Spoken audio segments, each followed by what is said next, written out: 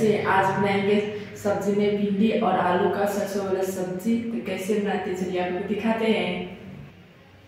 देखिए इसमें क्या क्या सामान लगेगा, हम दिखाते हैं। देखिए पहले भिंडी के लेके धो दिए, इसको धो के रख दिए। और आलू के छीके छील लिए, इसको धो के साफ़ करके रख दिए। तीन टमाटर चाहिए। और तीन चार चम्मच सरसों लिए हैं बारह चम्मच से, और तीन चार चम्मच मरचा लिए, इसको भिगो के रख दिए। और एक लहसुन चाहिए, इसको पेस्ट बनाएँगे। तो पहले पेस्ट बना लेते हैं।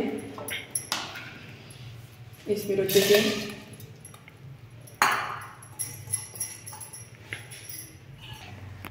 देखिए, इसमें हम लहसुन रख देते हैं। बिना छिले ही रखते हैं, छोटा लहसुन ही सीख ले अभी इसमें हम हल्दी रखेंगे। एक चम्मच हल्दी रख रहे हैं इसमें। थोड़ा कम रखिएगा। अब इसको पीस लेते हैं।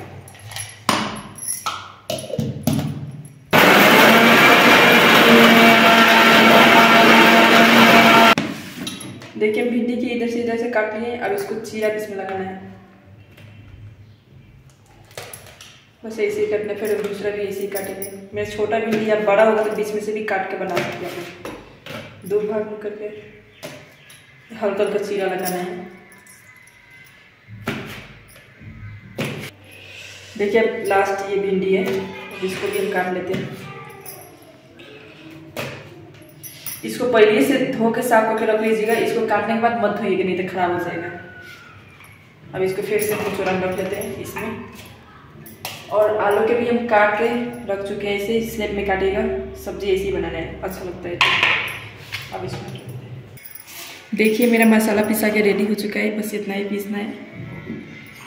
अब इसमें हम थोड़ा सा बेसन डालेंगे।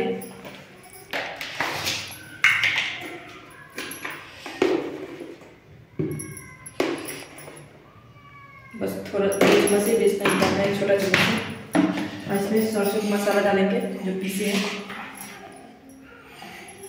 थोड़ा सा ही डालना है। अब इसमें थोड़ा नमक डालेंगे।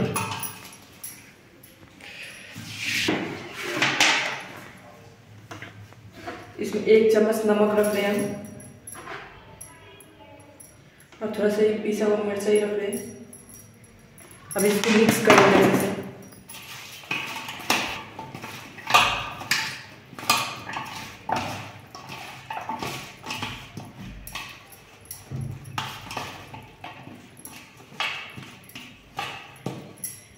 दो मिनट के लिए इसको ढक कर छोड़ देंगे।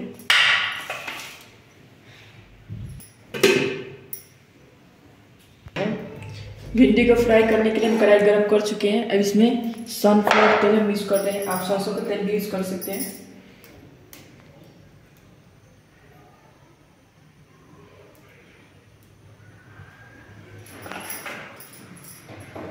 तेल गरम हो जाएगा, तब इसमें हम फ्राई करेंगे भिंडी को।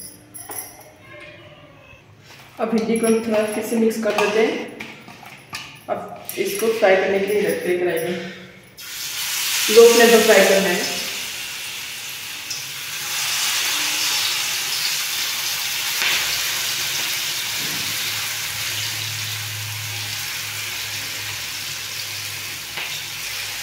ये कढ़ाई देते हैं सारा ग्रेवी के लिए।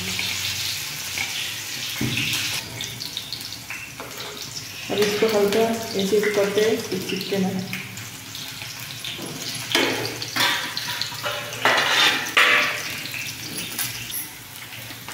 से तेल करते हैं।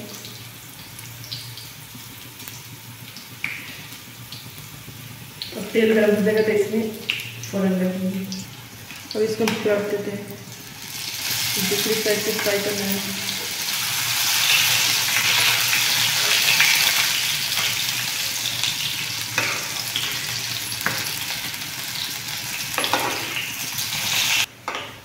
ये फ्राई हो चुका है इतनी फ्राई करना है इसको निकाल लेते हैं।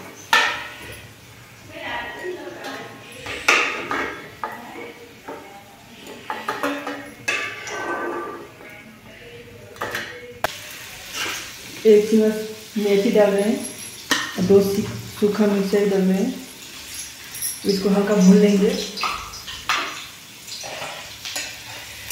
इसको हल्का भूनना है।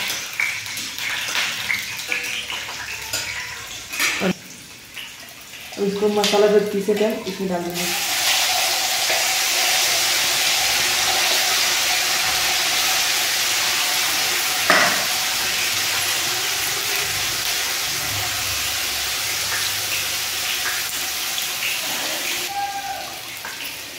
हल्का सा पानी डालकर इसमें मिक्स कर देंगे हल्का पानी और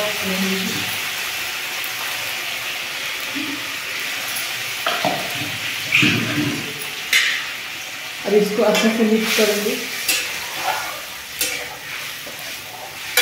अब इसमें टमाटर ऐड करेंगे। तीन टमाटर हम काट लिए चलिए अब इसमें हम नमक डालेंगे।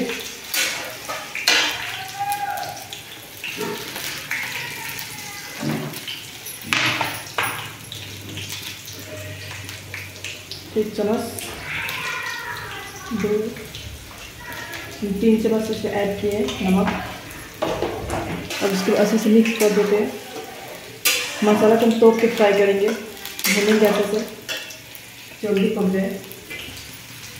इसको ढक देते हैं। अब इसको बीच बीच में चलाते रहिएगा। इसको टाइम लगता है भूनने में। तो चलिए इसको भूनते फिर अब आलू के लिए वैसे ही हम मसाला उसका जब भी मिक्स करते पहले दो चम्मच बेसन डालेंगे। छोटे चम्मच से दो चम्मच बेसन डालें नमक डालेंगे। थोड़ा सा ही नमक डालेंगे क्योंकि सब्ज़ी ना उसमें थोड़ा सा हल्दी डालेंगे। पिसा हुआ लाल मिर्च है। और थोड़ा सा सब्ज़ी डालेंगे। देखिए, ये फ्राई हो रहा है इसको बीच बीच में चलाते रहिएगा। इसको टाइम लगेगा भूनने में। इसको थोड़ा हाई फ्लेम पर ही हम लोग पानी खिला सकते तब कम आँच कर दीजिए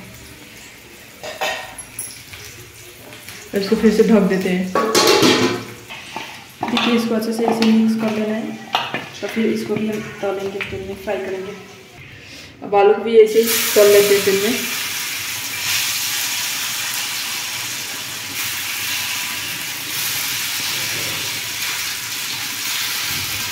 इसे फ्राई करने से टेस्ट अच्छा आता है।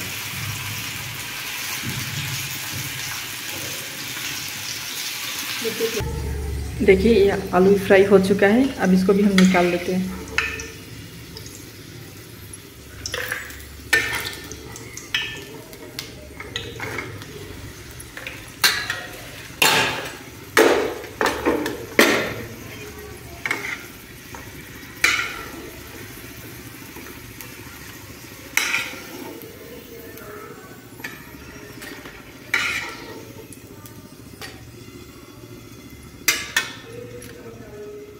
फिर से हम इसमें आलू डालेंगे।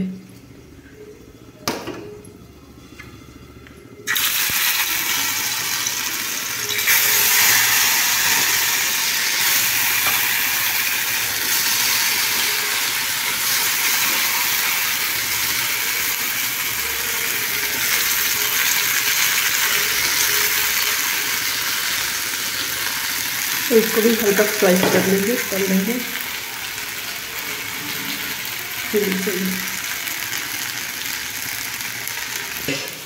देखिए, मसाला फ्राई होना स्टार्ट हो चुका है। देखिए, गाढ़ा टाइप हो गया, और उसको और भुनना है अच्छे से और गाढ़ा हो जाएगा और भुन लेंगे देखिए, इतना उसको फ्राई करना है कि मसाला टेस्ट बहुत अच्छा लगेगा। अभी और भुनना है इसको, फिर से तब तक फ्राई करते हैं देखिए मेरा मसाला भून के रेडी हो चुका है। अब इसमें हम पानी ऐड करेंगे ग्रेवी के लिए। पानी ऐड कर दें हम, देखिए। मिक्स करेंगे।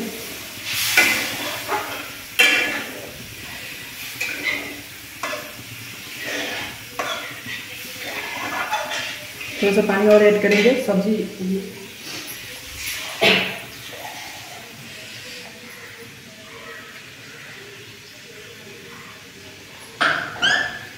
ही पानी ऐड करेंगे अच्छे से उबल आ जाएगा इसमें। बस फिर थोड़ा सा पक जाएगा तब इसमें हम सब्ज़ी ऐड करेंगे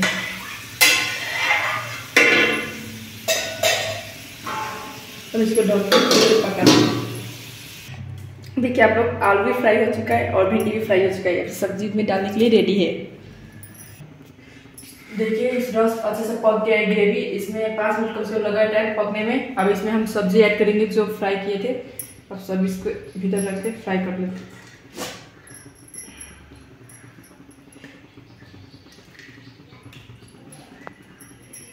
इसको ज़्यादा टाइम नहीं लगेगा सब्ज़ी ऐड करने का, पकाने में। फिर पाँच मिनट लगेगा और तो पक जाएगा रेडी हो जाएगा सब्ज़ी।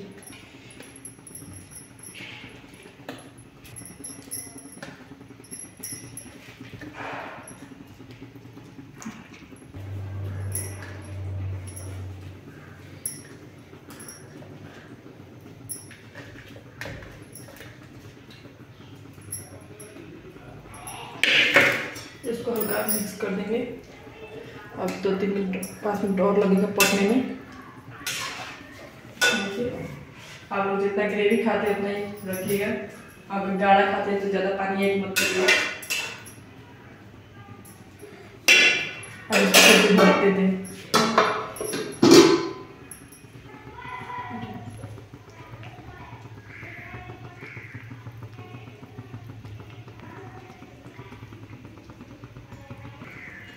देखिए, आप लोग सब्ज़ी उबलने के रेडी हो चुका है। अब सिर्फ़ दो तीन मिनट और पकेगा, तब पकने के बाद रेडी हो चुका है सब्ज़ी। देखिए, आप लोग, मेरा सब्ज़ी बन के रेडी हो चुका है खाने के लिए। तो तरह से रेडी है सब्ज़ी और उसको ढक के छोड़ देंगे।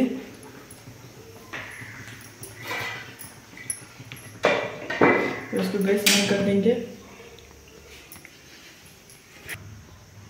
देखिए मेरा सब्ज़ी बन के रेडी हो चुका है। बस आज के वीडियो में बस इतना ही। अगर वीडियो पसंद आएगा तो प्लीज़ लाइक कर दीजिएगा और सब्सक्राइब कर दीजिएगा और सपोर्ट करिएगा और कमेंट करना मत भूलिएगा। अपने दोस्तों को शेयर भी कर दीजिएगा। और मिलते हैं नेक्स्ट वीडियो में। जय श्री राम।